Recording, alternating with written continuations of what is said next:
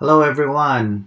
Today I'm going to discuss about the cloud practitioner certification. So a lot of you may not have heard of the cloud practitioner uh, certificate itself and i um, wondering what is it. Right now it's very popular the solutions architect and many people go to the cloud uh, to the solutions architect directly. But today I'm going to try to convince you to get the cloud practitioner first.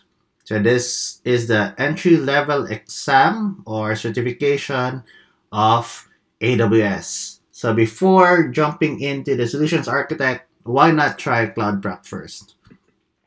So I'm going to explain the Cloud Prac. Uh, here in the user group, we also offer a tutor track, which is designed for anyone who wants to learn about Cloud Practitioner for three days.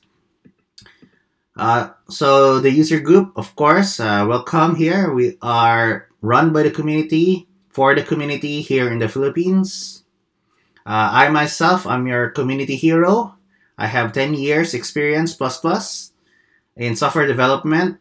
I'm primarily on the open source stack, uh, focus on MySQL, Linux, PHP, I've been certified since 2013 and also been leading the group since 2013.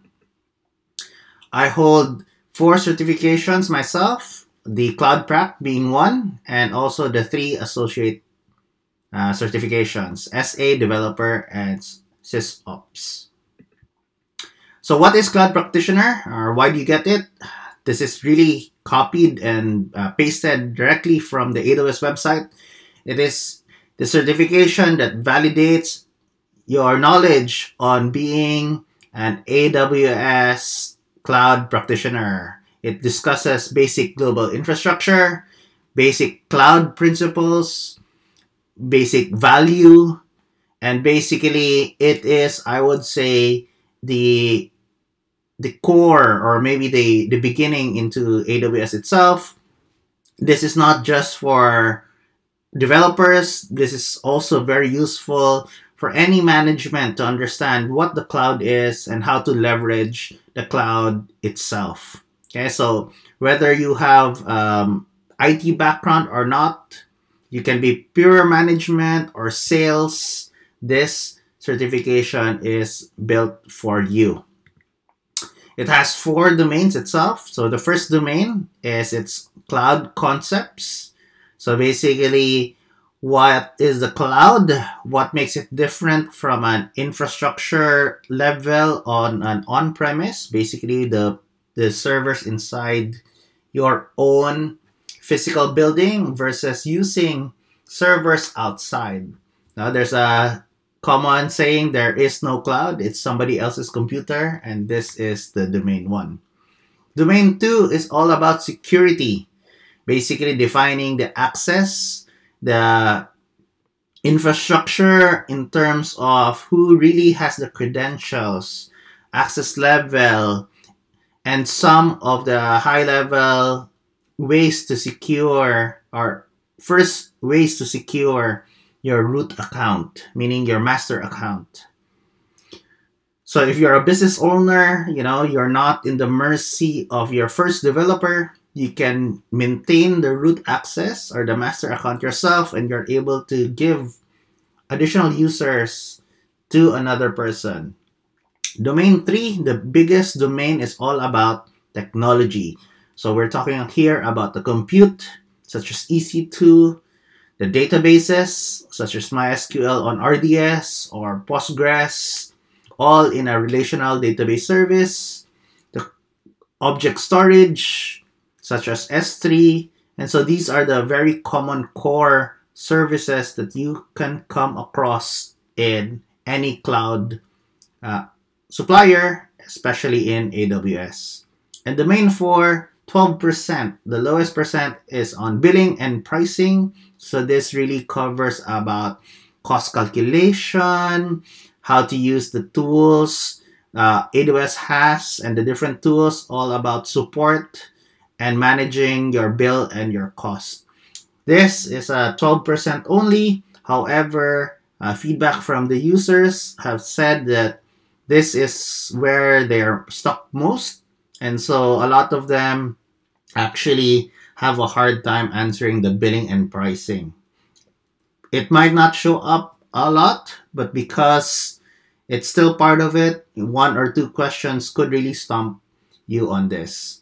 Below is the URL that you can find. You can also go directly to amazon.com certification, certification side certified cloud practitioner. So the exam detail itself is in multiple choice and sometimes multiple answer. What does this mean? Basically, you're given A, B, C, D. Sometimes you're able to pick one, sometimes pick two, pick three, or more. In a question, such as multi-answer, you have to get all answers correctly uh, for to get the full point. So there's no partial points for the questions themselves. Questions are 65. Uh, so that's the number of questions you have.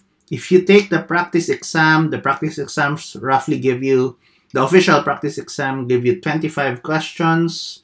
So imagine three times more there. Okay. So the type again, it's easy or foundational. Anyone should take this. You can now, in the delivery method, you can now actually take the exam at home. Okay, so it's an you can take an online proctored exam. Basically, you have to make sure that your webcam is set and there's no distractors in the back, front. I believe they will ask you to check your surroundings or rotate your webcam just to make sure that you have nothing in the surrounding area that can be used um, against you. Of course, you can just take the standard testing center. If you are here in Metro Manila, uh, we usually take the one in Makati.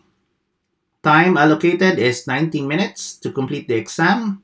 If you are in the Philippines, such as myself, or you're Filipino, or you're using English as a second language, you are able to get additional minutes by going to the request additional 30 minutes. So it's in the AWS the training, you can get that for additional 30 minutes. Cost is $100 USD and the practice exam is 20 USD. Practice exam is one-time use. So meaning after you take the practice exam, um, the questions, Uh, you won't be able to take another practice exam without paying another 20 US dollars. It's available in English, Japanese, Korean, and simplified Chinese as of the moment. So why cloud practitioner first? You know, this is my advice. Don't go to SA first immediately. Take the cloud practitioner first simply because of its value for money. So if you went to SAA or Solutions Architect immediately and you studied there, the SAA exam is $150 directly. So that's one cert, $150. However, if you go to the Cloud Practitioner track first, the Cloud Practitioner itself is $100 only. So that's $50 less. However, what's great with this is if you are able to pass which I'm confident you can with proper uh, proper time and study, you're able to get a 50% voucher, which you can use to take the, ex- the next exam for 50% off. So if you use that 50% off the SAA exam, your exam now becomes $75, which gives you a total of $175 you also get a better understanding and better foundation for your SAA. So, in other words, when you read and study SAA, you have a better foundation. And lastly, you also get an exam voucher, a free practice exam voucher, which you can use. That's $20 off that you can use to buy a practice exam of an SAA. So, overall, if you take the cloud practitioner first and pass, you generally get 175 you only spent $175 to get the two certificates and that is $25 more just $25 more and now you are both a cloud prac certified and an SAA certified. So the value of money and preparation is there. So, any questions? So if you have any questions, don't forget just like and subscribe, put your comments below. I also would advise you to attend our meetups, uh, also watch our other videos and see for yourself the kind of questions Cloud CloudPrac has versus the kind of questions Solutions Architect has and see the level of difficulty for both. Alright, I believe that's all my video should cover at this moment. So thank you guys for watching. Don't forget to like and subscribe again. And goodbye to you. I hope to see you again soon. Be our guest. Be our guest. If you are SAA already or CloudPrac or you just want to talk with us, be our guest.